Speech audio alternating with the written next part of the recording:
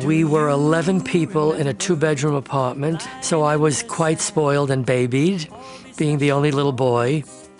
My mother said I wouldn't eat until there was music on the radio. I had a neighbor who had a piano, and when I was eight years old, I noticed that I could pick out a tune with one finger by ear.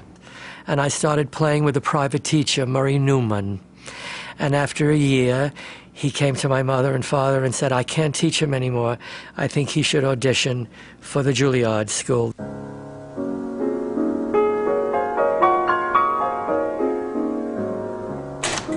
Sedaka's early songs were in the style of Rodgers and Hart and George Gershwin, but when he heard Earth Angel by doo-wop group The Penguins, his musical outlook was turned upside down. Earth Angel,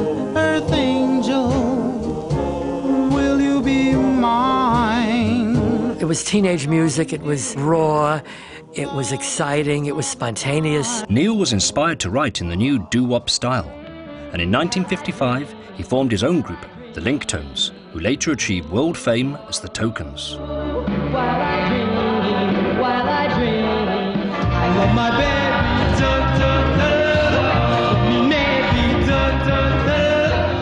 I remember I wanted it with a vengeance. I looked at the microphone and I said, This is it. My first time in front of a microphone in a studio. And I liked hearing my own song taking shape. And um, I said, I think this is for me. I Love My Baby reached number 32 on the New York charts. A year later, Neil parted company with the Tokens to pursue his songwriting ambitions. Like a key? Howie and I were writing and peddling to many uh, publishing firms. Atlantic Records, they would take many of our songs and record it with their black artists. So I had a couple of R&B hits, Clyde McPhatter, Since You've Been Gone, uh, LaVern Baker, I Waited Too Long. I waited too long, and now we're apart. Having enjoyed some success as a songwriter and performer, Neil was desperate to get a publishing contract. Hey, stupid Cupid, stop picking on me. You got me jumping like a crazy clown, and I don't feature what you're putting down. I was so thrilled to hear one of my songs over and over on my transistor radio. And then I would buy Billboard magazine, my Bible, and um, see the hits. And lo and behold, I think went to number 14. It was an absolute dream come true.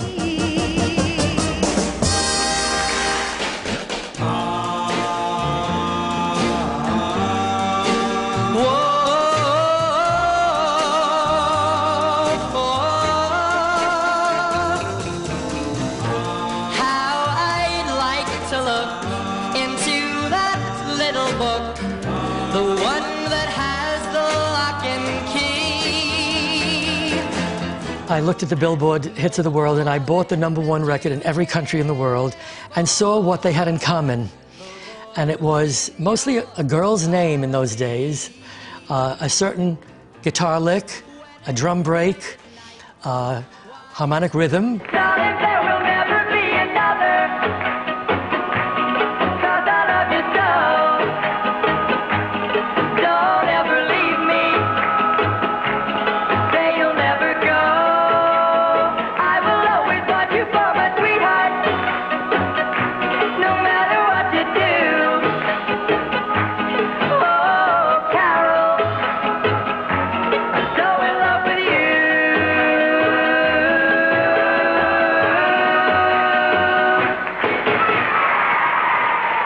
Remember getting a royalty check, and I ran upstairs and I said to my father, oh, Look, $2,600. He said, Neil, you read it wrong. It's $26,000.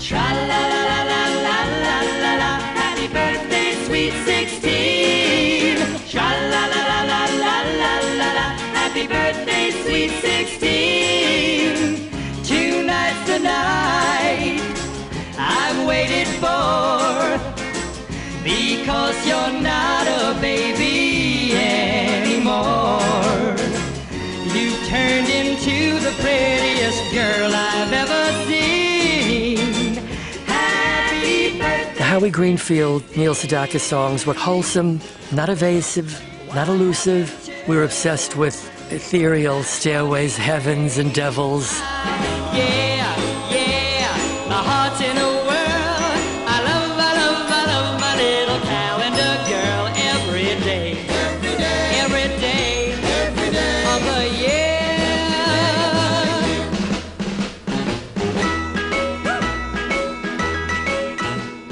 They became a, a trademark of mine. I was the king of the doobie doos. Down, doobie doo, down, down. Breaking up is hard to do. Don't take your love away from me. Don't you leave my heart in misery. If you go, then I'll be blue. Cause breaking up is hard to do. In August 1962, Neil achieved his dream of a number one hit as Breaking Up reached the top of the US charts. I had sold about 20 million records worldwide, and I had 10 hits in a row. Then your Beatles and Rolling Stones came in, changed the whole business.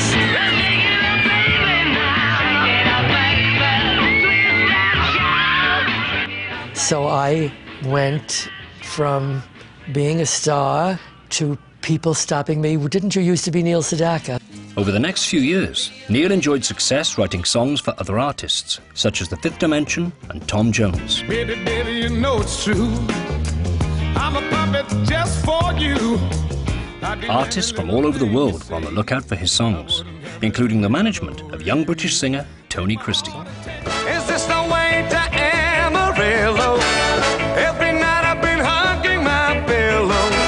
Royalties were flowing in, but being out of the limelight himself was a bitter pill for Neil to swallow. As much as I was happy, it wasn't me on the stage singing my own songs.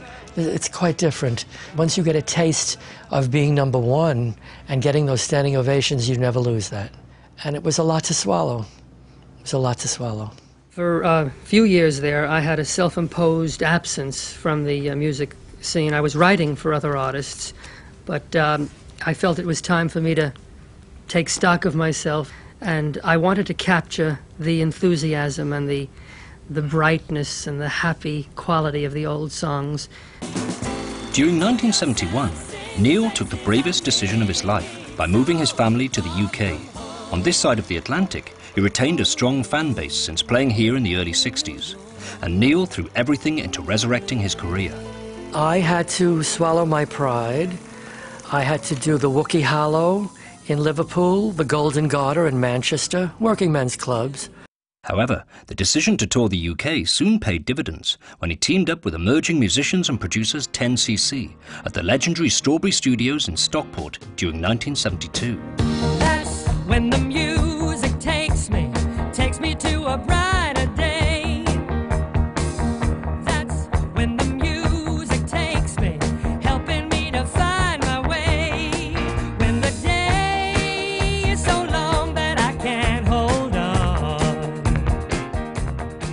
Emergence was the first LP, and we have another one coming out called Solitaire, which has um, 11 new songs of mine. I'm happy to say a lot of my own lyrics are on that particular album. The only game in town. Every road that takes him, takes him down. While life goes on around him everywhere. Playing solitaire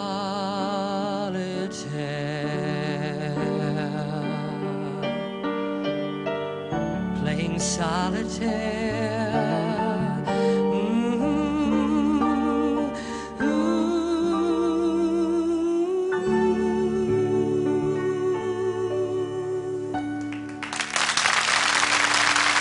I met Elton John. He said, I heard that you're recording new songs with the 10cc's. May I come to your flat to hear them? He said, I'm starting a record company. Would you like to join the label? I said, absolutely. It was like someone handing me gold bricks. Solitaire, that's when the music takes me, laughter in the rain.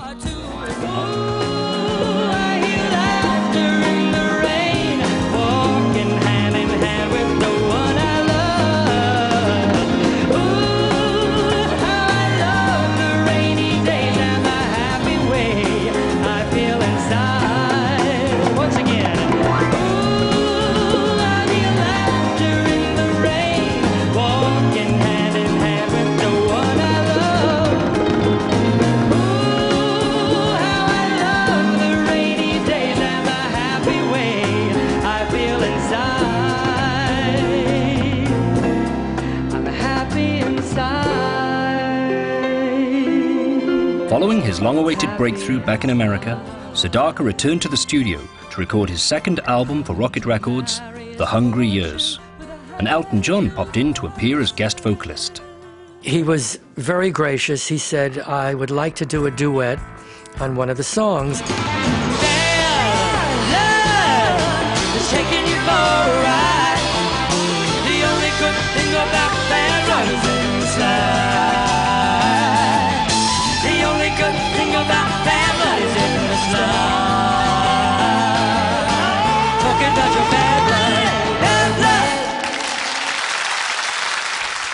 The 80s and early 90s, Sedaka maintained his high profile and popularity. For the first time, Neil's new songs featured his own lyrics, and the albums were always eagerly anticipated all over the world. You can find the best of Neil on his brand